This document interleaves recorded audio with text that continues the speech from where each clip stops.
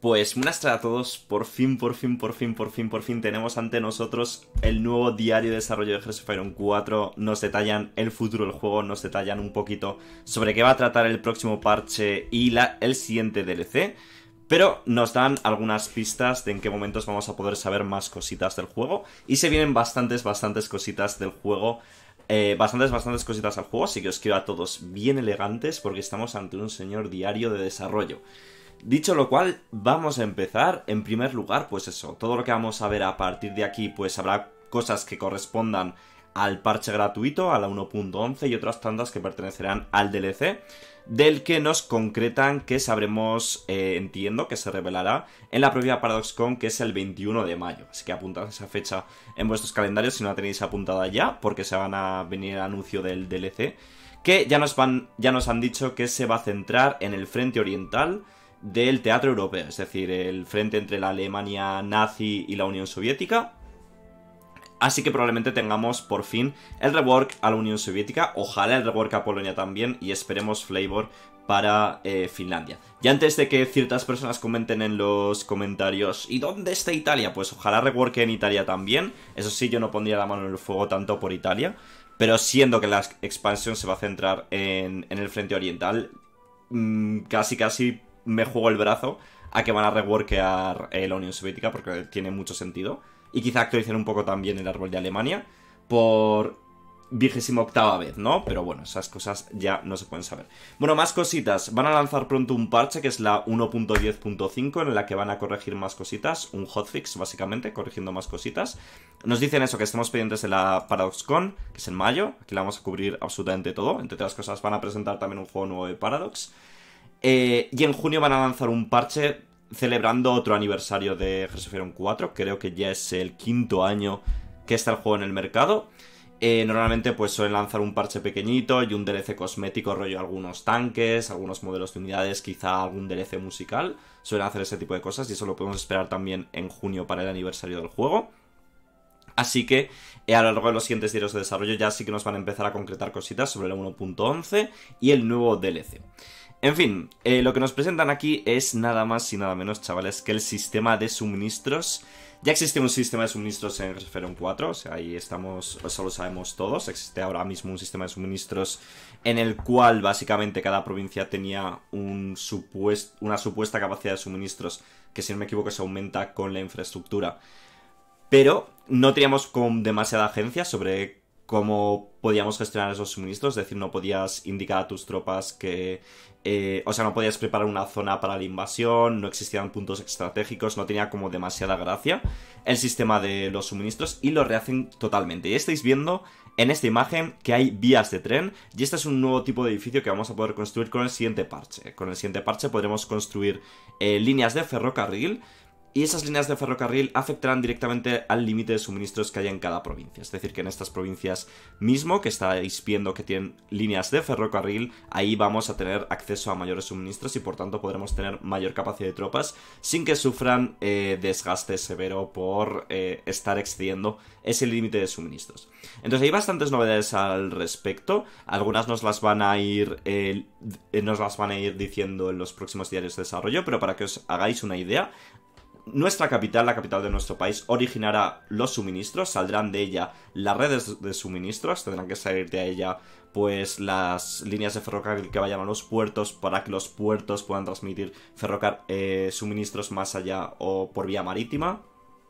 Y estos, estos suministros que tenga nuestro país van a ir en función de nuestra capacidad industrial. Es decir, cuanto más industria tengamos en nuestro país, más suministros van a salir de la capital. Y cuantos más suministros salgan de la capital, pues más suministros nos podremos permitir desplazar por el mundo para eh, intentar tener pues mejores líneas de suministros. Aquí estamos viendo eh, algún mapa. Recordad que todo lo que estamos viendo aquí está todavía en proceso de desarrollo, por lo tanto puede que lo que acabemos viendo no sea muy similar o sea, no sean necesariamente como lo estamos viendo aquí, ¿no? Puede que mucho arte acabemos de verlo y tal. Hay bastantes nuevos eh, eh, tipos de, de capacidad de logística. En este sentido ya no van a existir solo los convoys. Ahora vamos a tener que gestionar y crear también otros tipos de transporte. Está muy fuerte la música, perdonad. Vale, no está muy fuerte, pero para mí sí. Eh, vamos a tener nuevos tipos de transporte, ¿vale? Vamos a tener los camiones, que son los vehículos motorizados. Los trenes, que van a ser aquellos básicamente convoys, pero que estarán circulando por las vías de ferrocarril. No creo que se vean visualmente, pero ojalá se vea algún tren de vez en cuando circulando por las líneas de suministro en tiempo real. Eso estaría muy, muy, muy guapo. Eh, y eso, los convoys que ya los conocemos, cómo funcionaban hasta el momento, ¿vale? Eh, en fin, ahora lo importante es que va a haber ciertos nodos en los que vamos a tener una capacidad especial de suministros. Esto es por supuesto nuestra capital, son las ciudades, las ciudades van a tener algunos suministros extra y vamos a poder construir depósitos especiales para tener suministros. Por lo tanto, como estáis viendo en este mapa de aquí, hay ciertos sitios específicos en los que hay suministros extra. Estos sitios son especialmente útiles o interesantes de capturar a partir de ahora, o sea que el mapa va a tener una profundidad muchísimo más estratégica de lo que tenía hasta el momento en Hearts of Iron 4. Por ejemplo, yo que sé, eres eh, Francia, estás invadiendo Alemania, pues vas a querer capturar ciertos puntos de suministro clave, ¿no? En los que, eh, eh, gracias a los que puedas permitirte, pues, introducir más tropas en el territorio, avanzar más rápido, etcétera, ¿no? Entonces, va a ser especialmente clave capturar esto, yo que sé, con paracaidistas o rusear esos puntos. O sea que va, a ganar con mucha más profundidad estratégica el Hearts of Iron 4, y eso es, es desde luego bienvenido. También nos hablan de los ríos, los ríos van a tener un, punto especial. No han comentado nada de los puentes, espero que los puentes tengan como cierta, eh, cierta capacidad especial para que haya que defenderlos o controlarlos con especial hincapié, porque eso tendría sentido. Pero nos han dicho que si queremos utilizar los ríos para transportar suministros, tendremos que controlar ambas, ambos márgenes del río, ¿vale? Ambos, ambas costas, como lo queréis ver. Por ejemplo, este río, si queremos transportar eh, suministros vía marítima por él, pues tendremos que controlar ambos lados del río, ¿vale?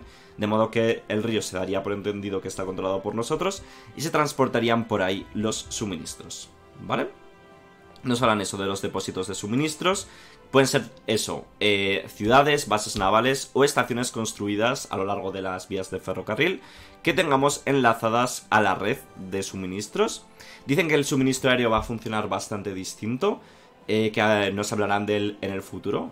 tiene sentido, ¿no? Porque el suministro por aire, pues por cómo funciona el, tema aéreo en Hoi 4, pues entiendo que claramente va a funcionar de manera distinta porque, yo qué sé, tendrá tendremos que quizá algún nuevo tipo de avión que se dedique a trasladar bloques de suministros, algo así sería guapo, ¿no? De modo que veas cómo planificar muchísimo las invasiones, eso estaría muy muy chulo. Pero bueno, no vamos a hipearnos por eso de momento hasta que nos lo expliquen, ¿no? En ese momento ya veremos si le falta alguna cosilla o no. De hecho, creo que aquí estamos viendo un, un depósito de suministros, creo que es esto de aquí, si no me equivoco, así que habría que verlo, porque ese edificio no me suena de nada de verlo. Y em, también nos hablan de la velocidad con la que van a fluir los suministros, que esto va a variar dependiendo del terreno y del clima y de la cantidad de camiones que tengamos eh, disponibles en esa región para trasladar los suministros. O sea que por mucho que tengamos una buena infraestructura, si por ejemplo hay un clima súper severo, yo que sé, estamos en el desierto, no va a transportarse los suministros tan rápido como podríamos esperarlo, quizá de otros, de otros, eh, en otros eh, lugares de la Tierra, ¿no? Por así decirlo. Dice que esto va a crear un sistema que va a ser mucho más estratégico porque vamos a tener que luchar por el control de, esos, de esas líneas de ferrocarriles, preparar las, las ofensivas teniendo todo esto en cuenta, intentar eh, que todo encaje, toda nuestra capacidad logística y nos va a forzar un poco a preocuparnos por avanzar en, en, aquellos terrenos en los que sean, pues, básicamente muy oscos, ¿no? Que sea difícil avanzar por ciertos terrenos y preocuparnos también por el clima, ¿no? Eh, yo qué sé, no creo que lleguemos al punto de no tener que hacer una invasión, yo qué sé, en, en invierno, pero quizá un poco tener claro que no va a ser el mejor momento y que van a avanzar peor las tropas durante esos momentos, ¿no? Dice que esto va a resultar en un frente oriental mucho más histórico, mucho más divertido y mucho más inmersivo de lo que conocíamos hasta ahora en Hearts 4 y que vamos a añadir una nueva línea de, eh, de planificar invasiones para el resto del mundo, ¿no? O sea que no es un DLC que no es un DLC que vaya a ser exclusivamente o no es un contenido o unos cambios que vayan a ser exclusivamente positivos solo para el frente oriental, sino que va a cambiar mucho todo el resto del juego. Eso sí, de manera especial para el frente oriental, porque toda esta actualización, como ya sabéis, se está centrando en mejorar esta zona del juego y hacerla más interesante. Y obviamente es donde quizá tiene más sentido o más profundidad todo el tema de la logística.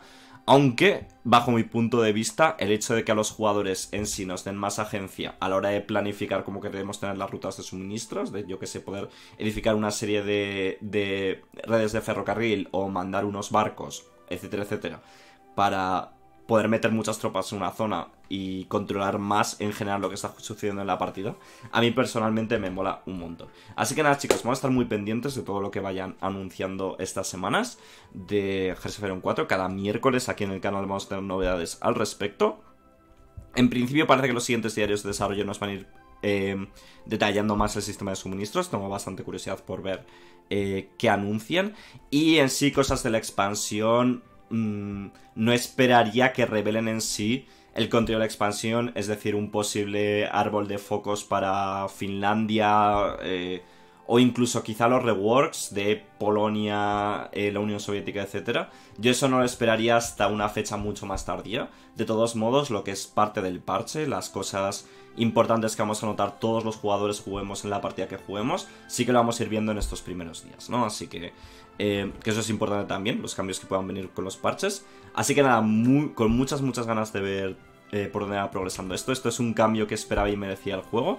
Y nada, a ver si cuando sepamos un poquito más, traigo a Percebe y comentamos un poquito las impresiones sobre el sistema. Poco más, espero que eh, os haya molado. A mí me ha molado un montonazo. Y nos vemos en el próximo vídeo. Chao, chao.